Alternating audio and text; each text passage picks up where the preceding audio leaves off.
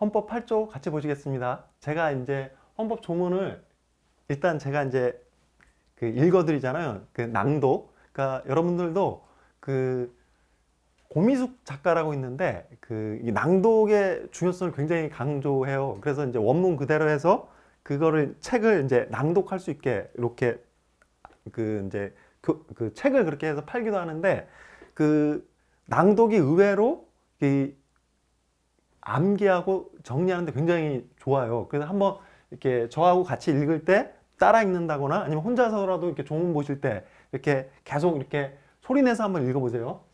헌법 8조 제1항 정당의 설립은 자유이며 복수 정당제는 보장된다. 복수 정당제. 그 다음에 2항 정당은 그 목적 조직 활동 목적 조직 활동이 민주적이어야 하며 국민의 정치적 의사 형성에 참여하는 필요한 조직을 가, 져야 한다. 그래서 목적 조직 활동이 민주적이야. 그래서 사항에 정당의 목적이나 활동 여기에선 조직이 빠진다는 거. 위헌 정당 해산에서 그러니까 요거하고 구별해서 이렇게 정리해 두셔야 되죠. 그 다음에 3항 정당은 법률이 정하는 바에 의하여 국가의 보호를 받으며 국가는 법률이 정하는 바에 의하여 정당 운영에 필요한 자금을 보조할 수 있다. 그 다음에 이제 국고 보조금 조항이죠. 이게 이제 그 의무 조항이 아니잖아요. 이제 요런, 요런 것들이 또 시험에 나기도 해요. 그 다음에 사항 정당의 조직이 아니죠. 목적이나 활동이 민주적 기본 질서에 위배될 때에는 정부는 제소권자 중이에요. 헌법재판소에 그 해산을 제소할 수 있고 정당은 헌법재판소의 심판에 의하여 해산된다. 자, 8조 1항부터 4항까지 한번 봤어요. 그래서 이 헌법 조문은 시험에 잘 나오는데 헌법은 정당 운영에 필요한 자금에 대하여 국가 보조 의무가 아니죠. 보조할 수 있다. 그 다음에 정당의 목적이나 활동이 민주적 기본 질서에 위배될 때 제소권자 누구랬어요? 정부라고 그랬죠? 그래서 제소권자를 이렇게 틀리게 할 수 있으니까 여기서 주의해서 기억해 두시고 그래서 이제 정당의 의의부터 한번 볼게요. 정당이란 정치에 대한 이념이나 정책이 일치하는 사람들이 정치적 이상을 실현하기 위하여 조직하는 일단 단체예요. 정치에 대한 이념, 정책이 일치하는 사람들이. 그래서 연역 보시면은 복수정당제는 30원법 5차. 그 다음에 유연정당의 해산은 20원법 3차. 그 다음에 이제 시험에 잘 나는 거. 정당 운영 보조금은 50 8차 개헌 1980년. 그 다음에 정당의 목적의 민주화 추구. 요건 현행헌법. 그 다음에 3 정당의 헌법상 지위. 정당은 뭐예요? 국민의 의사와 국가 의사를 매개하는 중개체죠. 자 이렇게 보시고. 그 다음에 정당의 법적 성격. 법인격 없는 사단인데 이렇게 이제 민법을 이제 공부하시는 분도 있고 안 하시는 분도 있, 으니까 그 사람 그러니까 인해는 자연인과 법인이 있죠. 그래서 이제 보통 우리가 뭐 개인적으로 거래하고 이러는 건 자연인으로서 하는 건데 그 보통 이제 회사 같은 거라든지 아니면 이제 음, 회사는 이제 영리 사단법인이고 뭐 학술, 종교, 자선을 위해서 비영리 사단법인을 만들기도 하잖아요. 그랬을 때 그런 법인 같은 경우를 만드는 이유는 그 어떤 이제 사람이 단체를 이제 만들었는데 어떤 이제 뭐 아까 말한 그 학술이라든지 자선이라든지 종교 단체 그런 목적으로 단체를 만들었는데 거기 모인 사람들이 한 명한 명씩 다 어떤 이제 그 단체 이름으로 계약을 하려고 할 때 그 모든 사람들이 결 다 그 의사결정에 참여하는 것보다는 대표 한 명을 뽑아서 그 사람이 그 뭐 대표이사라든지 이런 사람이 그 다른 사람하고 계약을 맞으면 그 단체 전체에 미치게 하는 그러니까 그런 어떤 그래서 이렇게 자연인하고 법인 이렇게 나누어지는데 정당은 그런 이제 사단으로서의 사람의 단체 사단으로서의 실질은 가지고 있는데 법인격이 없는 거예요. 그럼 법인격이 뭐예요? 법인격을 취득하려면 그러니까 민법상 민법 32조에 주무관청의 허가를 얻어야 돼요. 그 다음에 설립 등기까지 맞춰야지 그 사단법인이 되는 거예요. 근데 이렇게 중후관청이 허가를 얻지 못하고 설립 등기를 받지 못하면은 법인격이 부여되지 아- 않지만 실, 실질은 존재해서 법인격 없는 사단이라고 하는 거예요. 근데 이제 이런 왜 그러면 그 사단법인을 안 하고 설립 등기를 안 하냐? 설립자가 행정관청의 사후 감독이라든지 법적 규제를 받는 것을 원치 않는 경우에 법인격 없는 사단이 발생하는 거예요. 그래서 예를 들어 그 정당 같은 경우는 여당뿐만 아니라 야당도 있잖아요. 그래서 이렇게 행정관청 사후 감독을 받기를 좀 부담스러워하겠죠. 그래서 이제 이렇게 법인격 없는 사단의 형태로 존재를 하는 거고 대신에 실 실체 그러니까 조- 그 어떤 단체로서의 실질적인 어떤 그런 거 있는 거예요. 그래서 고유의 목적을 가지고 자 대법원 판례요. 법인격 없는 사단의 어떤 의미가 의사결정기관 및 집행기관인 대표자를 두, 두는 등의 조직을 갖추고 그 다음에 의결이나 업무 집행 방법이 다수결 원칙에 의해서 이렇게 행해지며 구성원의 가입 탈퇴 등으로 변경에 관계없이 단체 그 자체가 존속하고 그래서 비법인 사단으로서의 실체 정당이 실제로 이러죠. 그래서 그러니까 정당의 법적 성격을 한번 같이 봤고요.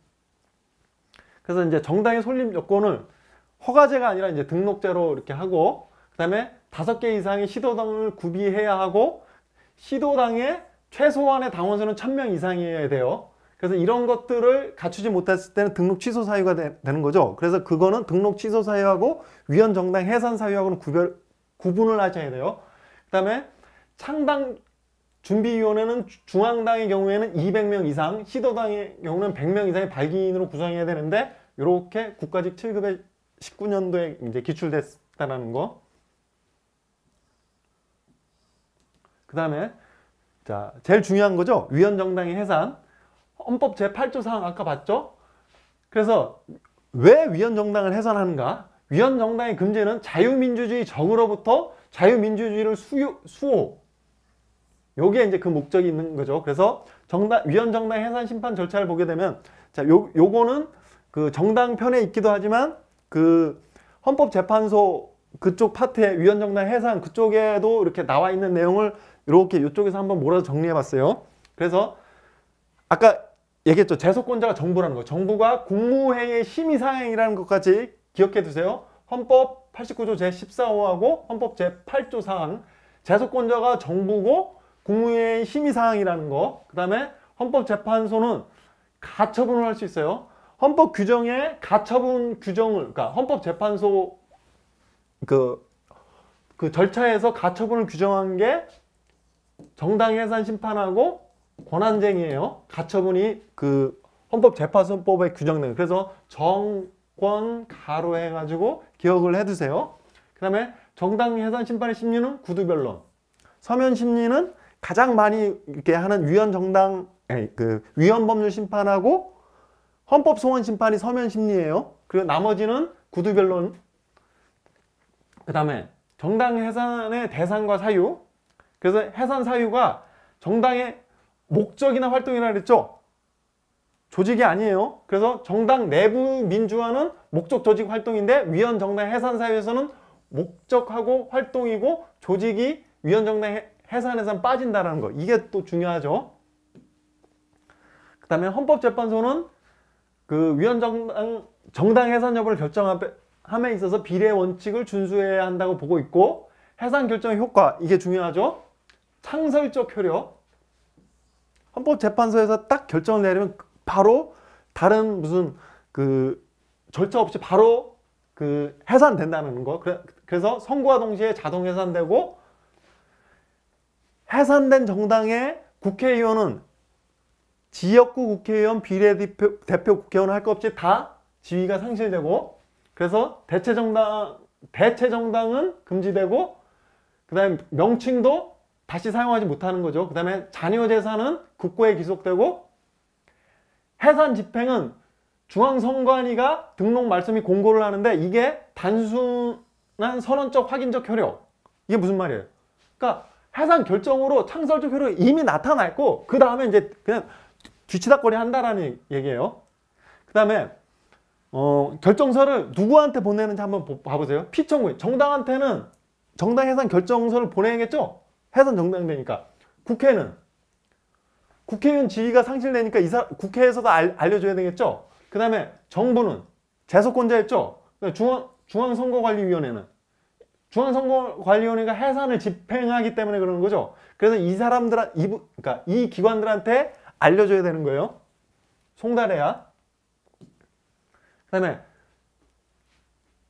그 해산 사유하고 등록 취소 사유하고 이제 구, 구, 분을 해서 기억을 해 두시라고 그랬죠. 그래서 5 이상의 시도당 미달, 1,000명 이상, 그 시도당 법정당원수 1,000명 이상 미달, 그 다음에 최근 4년간, 여기가 또 중요하죠. 국회의원 총선거, 지방자치단체 장선거, 시도의회 의원 선거에 참여하지 아니한 때, 대통령 선거나 자치시군구는 제외된다라는 거. 후보를 못 낼 수도 있죠. 그 다음에 이거는 좀 너무 작, 작은 뭐 이래서 그런 것 같아요. 그래서 요 대통령 선거하고 자, 자치구, 시군 의원 선거는 제외된다라는 거. 그 다음에 등록 취소 효과 자녀 재산은 그 정, 위원 정당 해산하고 그러니까 비교하세요. 자녀 재산은 당원이 정하는 바에 따라.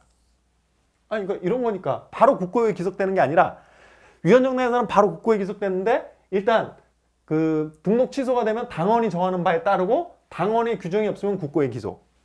그 다음에 등록 취소된 정당의 명칭은 아까 위원정당에서는 사용할 수가 없는데 이거는 등록 취소된 날부터 최초로 실시하는 임기 만료에한 국회의원 선거일까지 사용할 수 없다는 거. 자, 계속 비교하면서 기억을 해두세요. 그 다음에 정당과 정치자금과 관해서 일단 정치자금이 대표적인 게 당비, 그 다음에 후원금, 그 다음에 기타금, 그 다음에 국고보조금 이렇게 있는데 각각의 개념부터 한번 볼게요. 당비는 당원이 내는 거예요. 그래서 여기서 이제 이쪽에서 포인트는 타인의 명의나 가명으로 납부된 당비는 국고에 바로 기속시키 그 대납 당비 대납을 못하게 한다는 거예요. 그 다음에 후원금은 국회의원도 정치인을 후원해라는 개인이 후원에 기, 부하는 금전을 말하는 거예요. 그래서 누구나 자유자로 하나 또는 둘 이상의 후원에 회원이 될 수 있고 자, 둘 이상도 가능해요. 다만 기부를 할 수 없는 자, 외국인, 법인, 단체, 정치자금법 31조 1항 이거 중요한 조문이에요.